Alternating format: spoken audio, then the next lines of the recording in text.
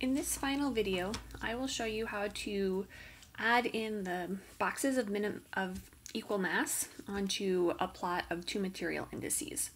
So I've taken the figure that we created before and I just zoomed in on some of the, the axes on the bottom left corner.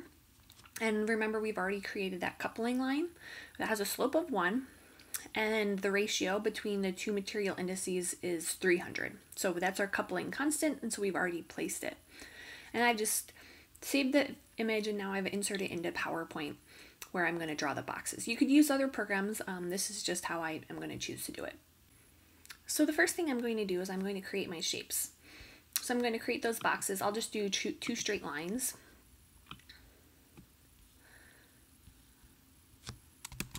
Copy that one, I'm going to paste it again, and now draw a vertical line. So we can just double check under shape format, and we see that this one has a height of zero, so it's flat. This other one has a width of zero, so it's flat, and we'll just connect them. And I'm going to group these, select both of them, and group them so that they're a single object. Now, what this allows me to do is I can resize my box as needed and move it around. And so remember, we want to minimize our material indices. We want small density, so we want to be in the bottom left corner. So we want to be in the bottom left corner. And practically what we're going to do is we draw on these lines so that they intersect at that corner. We then we then move up our lines, move these up so that they intersect on the on the um, the coupling line until we get to hit, hit our first material. So we do that and we see that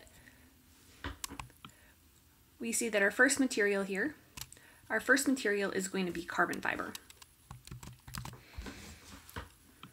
We keep moving these coupling lines, keep moving them until we hit our second material.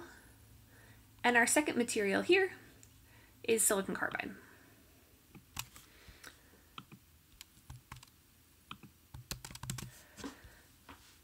We keep moving. We do the same process until we get to our third material, which is alumina. And we do the same thing. And till I find my fourth material, I need to make this bigger now. Until we find our fourth material, which you can see is aluminum nitride. So this is the process that we would take to select our materials. You wouldn't need to show all of these boxes, but again, that's where we start. We start with those boxes in the low, lower left corner, and then I move them up to select the materials. I had already gone through and added the labels, um, but if you didn't know, if it wasn't obvious to you, you could do this and then identify them afterwards and go through and add the labels.